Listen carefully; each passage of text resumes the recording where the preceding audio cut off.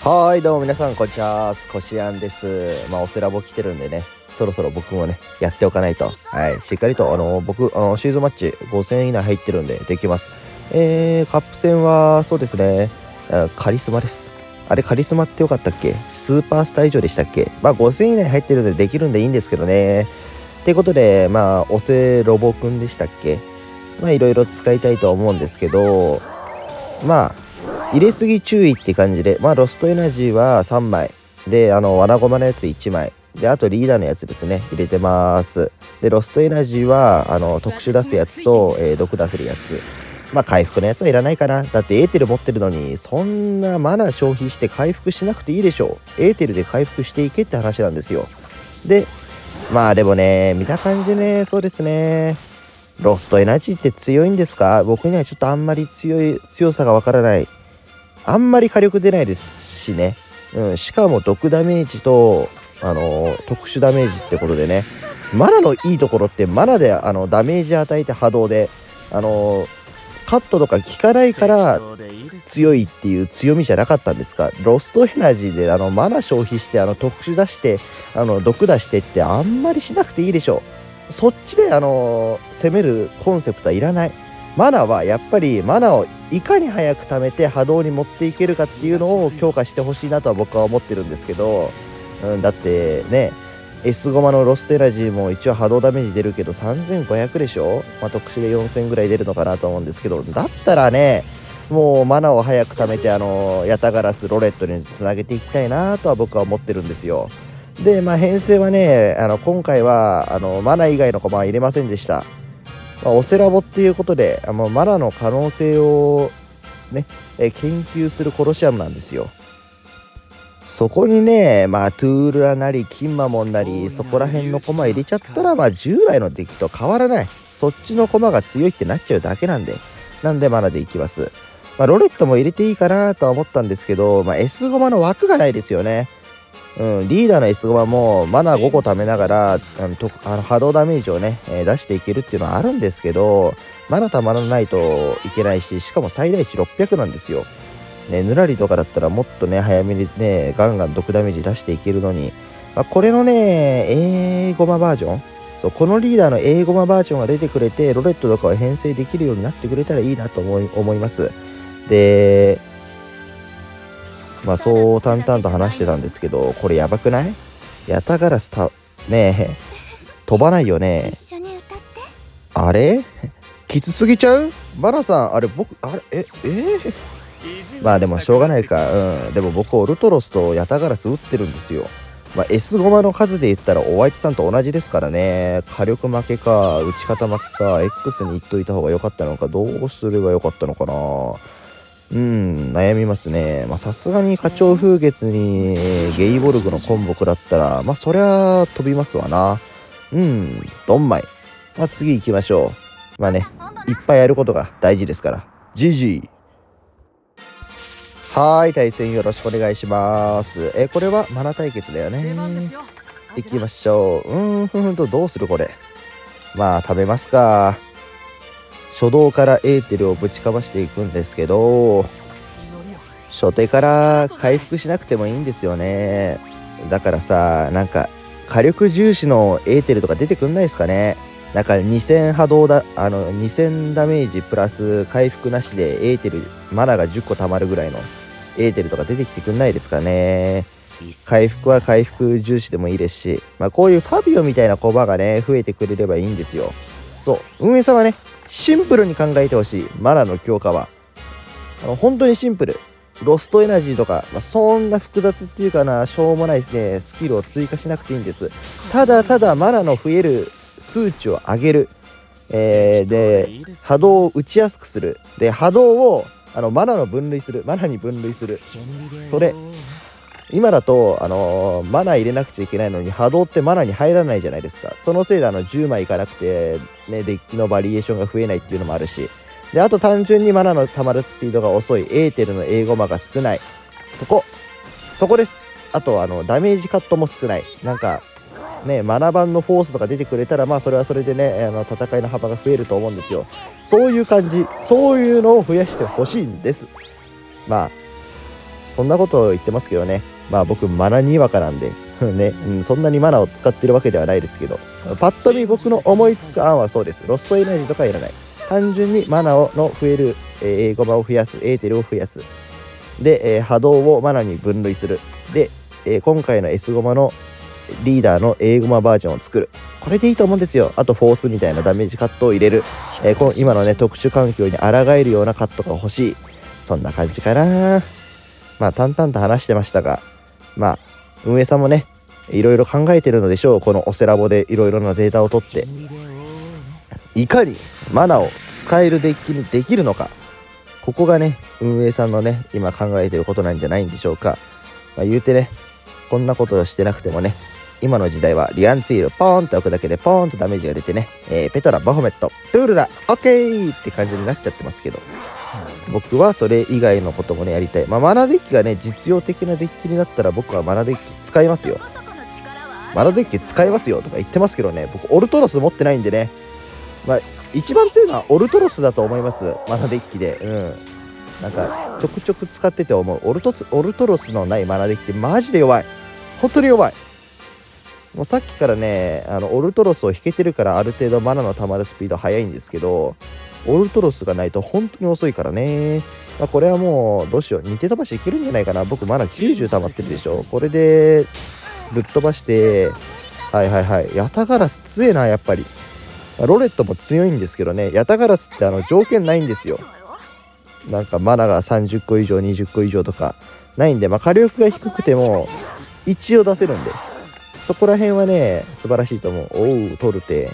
やっぱ、やっぱさ、マナってこうですよね。トルテとかヤタガラスとかロレット使って、やっぱマナ溜まったらドーンってできるのが気持ちいいし、楽しいと思うんですよ。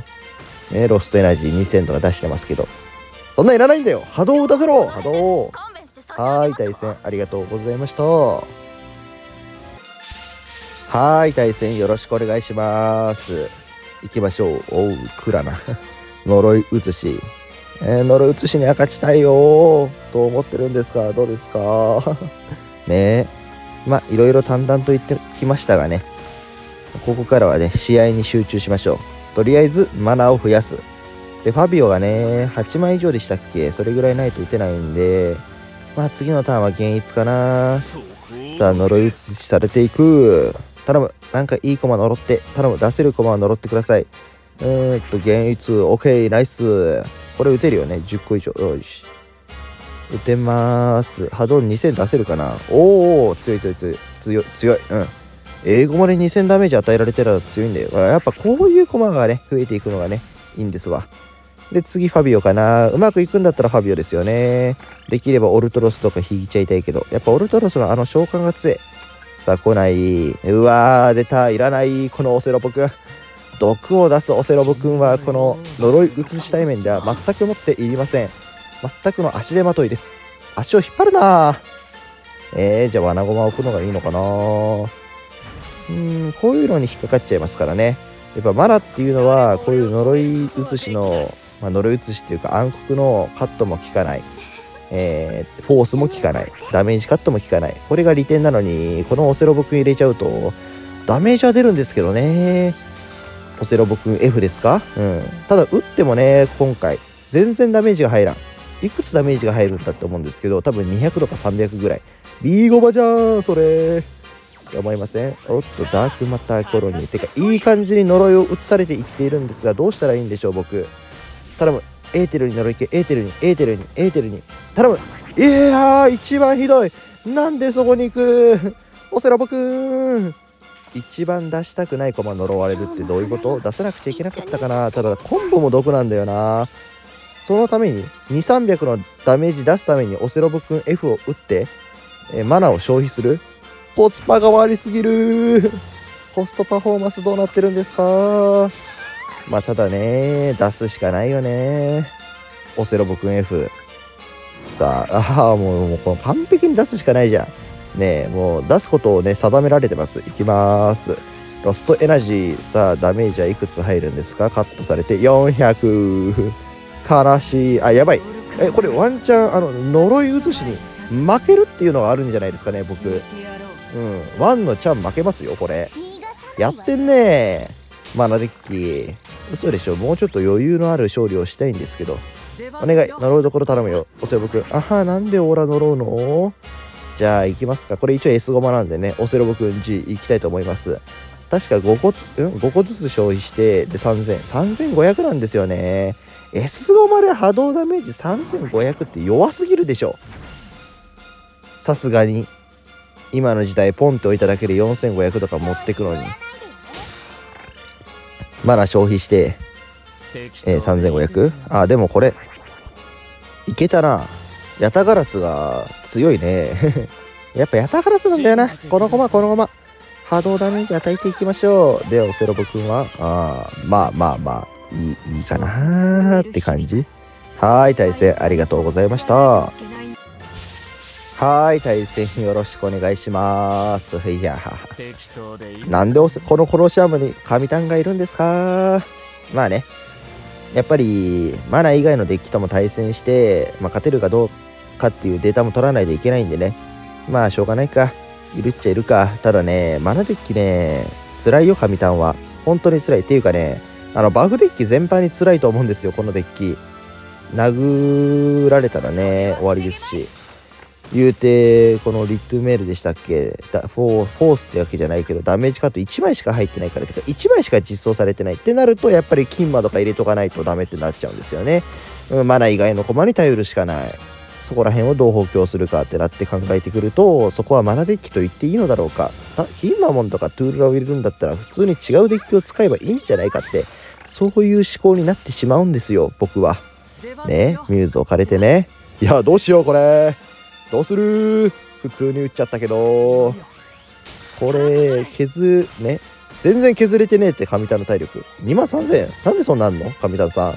まあ、僕がエーテル打ちまくってるっていうのがあるんでしょうけどいやオルトロス欲しいな。やっぱオルトロスだよな。オルトロス引けると引けるのに多分勝率相当変わってくると思う。マナデッキの使いの人はどう思いますか？やっぱオルトロスじゃないですか？僕はそう思います。この少ない間で。まあ、一応ダメージカットしておきます。マナってどう攻めた方がいいんですかね？うん。悩ましい。打ち方的には風車から行った方がいいのか、成り打ちとかから行った方がいいのか、X からゴリ、いや、でも、ソウルみたいに X からゴリ押しっていうのもできないだろうしな、マナ食べないといけないから。うーんと、ファビオかな。ダメージ的に考えても。一応波動ダメージ出せるんでね。まあ、次にもう、ヤタガラス撃つ？じゃないとダメージ足りませんよね。ただ、あとオセロボくん G しかないし。やめろ紹介しあ、やらかしたこれどうしよう。どうあがいてもダブコンなんですけど。やっちゃったねこっちから打っちゃダメだったか。春秋強いね。もうミューズ、春秋、えー、ププティじゃないや。金麦置かれて、しかもダブコン。で、半分切っちゃった。エンデが飛んでくる。1万5000。耐えれ耐えれん耐えれん耐えれん神ンのアタックこれこんなにバフもられてジークフリート絶対耐えれておもんな神ンおもんないって。強すぎ。無理です。GG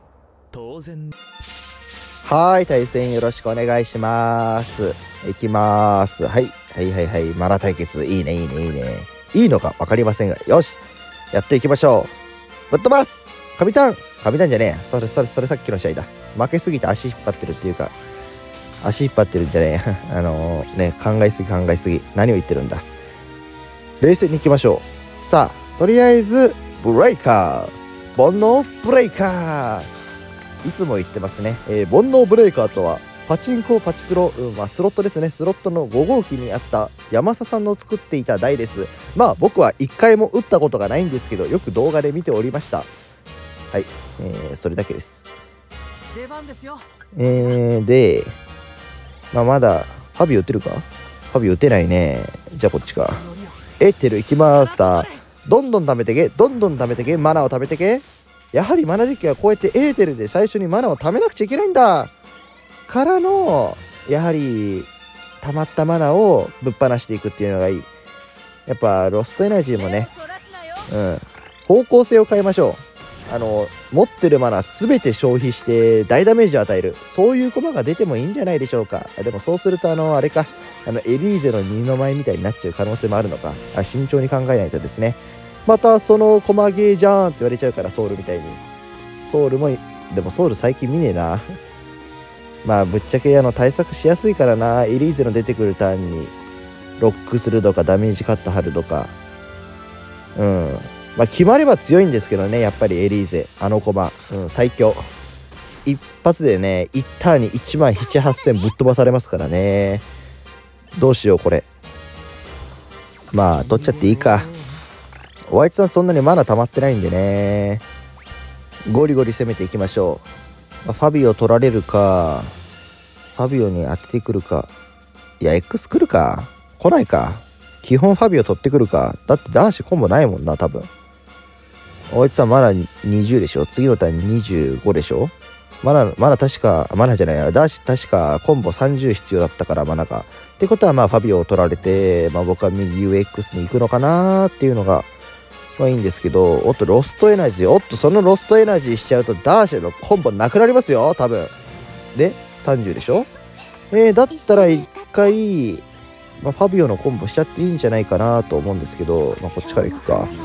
うん、ダメージ出したいな次、オセロボくん、ズイを打つかなまあ、最初からオセロボくん、ズイを打つってもよかったんですけどね。まあ、次のターンヤタガラスを引けるんだったら、まあ、G と言ったらゲッターロボですよ。うん、僕は大好きなんで、ゲッターロボ、あ、でもね、僕は新ゲッターロボの方が好きなんですけど、まあ、あの、ゲッターロボ、あゲッターロボ G といて、ゲ新ゲッターっているんですよ。まあ、大体ゲッターロボってこの3種類。まあ、他にもね、いろいろあるんですけど、うん、ゲッタードラゴン。まあ、G と書いてドラゴンです。2作目かなうん。ゲッターロボがね、あの、武蔵と一緒に行って、どうするかってなった時に新しいゲッターロボ、ゲッターロボ、ロボ、ロロかんだ、ゲッターロボ Z。まあ、まあまあ、そんな話はしなくていいか。だってロボット好きなんだもん。ゲッターロボと、マジンカー、マジンカー Z。まあ僕はマジンカイザーの方が好きですけど、うん、新ゲッターロボとマジンカイザーが好きなんです。前にも言ったかもしれませんがね。まあこれは罠ゴマ置いといていいかな。で、次のターンコンボして終わりでしょう。そんな強いエーテルはないんで、ね。5000回復とか、ここで別にロストエナジーの、あれ最初に撃たれたっけ？それは。まあまあまあ100%開始なんで、まあこれでお会いさんは飛びますよと感じで。うーん、どうなんだろうね、マナ対決は。難しい。はーい、対戦ありがとうございました。はい、対戦よろしくお願いします。さあ、オセロボくん対決です。エースオセロボくんエース !A か。エースと読んでいいのか分かりませんが。えー、っとね、まあ皆様にも聞きたい、僕は。やっぱね、僕の意見はね、にわかの意見なんで、そんなに毎回毎回、あの、いつもマナー使ってるようなね、人間ではないので、やはりもっとね、あの、リスナーの方のね、え、もっとマナーを使ってる人のね、意見を聞きたい。僕の意見はこうですよと動画で言ってるんで、あなたたちの意見が聞きたい僕は。じゃないとね、やっぱ運営さんもね、まあ運営さんに届かないか。僕の動画運営さん見てないってこんな動画。えー、それはそうとしてどうしようかな。まあいつも通りエーテル増やしていきますか。まあ、これはねまあ、マナ早く貯めてオルトロス出してあのー、波動ダメージでぶっ飛ばしたもん勝ちだと思ってるんで行きましょう。ロストエナジーはあんましたくないよねって感じ？まあしっかりとさまあ60個70個溜まってる状態だったらロストエナジーしてもいいけど本当にね、ロストエナジーってロレットとかヤタガラスと相性悪いですよね。あとは入れすぎ注意っていうね。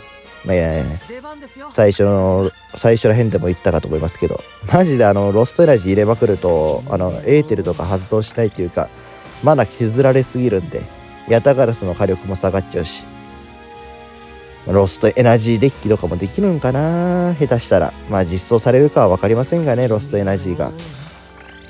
えっ、ー、と、ワイツサムファビオ、まあ、増やしていきますか。ゼブリル？オルトロス？引かない。ロストエナジー、オセラボくん。しません。ロストエナジーはまだしません。貯めていきます。まだまだ貯める。まだ貯める。やっと40個超えてきた。まあ、ここら辺からワンチャンロストエナジーしてもいいかなっていうレベルになってきましたね。しっかりとコンボも発動するんで、えっ、と、何か来い。何かいい駒来い。ヤタガラスの兄貴。ヤタに聞きましたね。もうこれ売っちゃうか。売っちゃってんじゃねえかな。ロストエナジーする前に。早めにヤタガラスを打ってしまう。で、こっからもロストエナジーで攻めていく。オセロボくん Z も引けたらいいですね。あ、俺、まあでも3600か。3600。まあ、オセロボくん G と同じぐらいの火力出たからいいんじゃないですか？うーんと、つなげてくるんかい。どうしましょう。ヤタガラスをつなげるという選択肢はないんですけど、うーん、ファビオのコンボするか。まだね。まだいいでしょ。一旦、一旦、一旦こっちよ。一旦こっち行っての、えー、っと、毒で、6の方が火力が出るからな。あー、まあ、ヤタガラス取られるか。まあ、それはしょうがない。まあ、もう一発ね、僕はファビオのコンボ使えるんで、さあ、オスエロボくん、ズイーが来ましたね。どうしよう。撃っちゃう？まだか。さすがにまだか。えー、まあこっちへ打っとけば特に入られるわけもないし。まあ次のターン飛ばすっていうんだったらオセロブくん G を F5 に打って、で、次につなげちゃうっていうのもありかもしれないけど、まあまあまあまあ、うわあこれ7800か。ファビオで2000でしょ？オセロブくん G で3500、5500。あー、飛ば、飛ばないか。飛ばないよね。じゃあロストエナジーします。で、次のターン、ファビオとオセロボくん G つなげて、勝ちかなまあダメージカットも効かないし、まあ回復は怖いけど、おーっとローレット飛んできた痛い危ない さすがロレット。でもマナを使うんだったらやっぱりロレットでぶちかましたいっていう気持ちがあるからやっぱりロストエナジーよりマナを多く貯める駒を作ってほしいなと僕は思ってしまいました。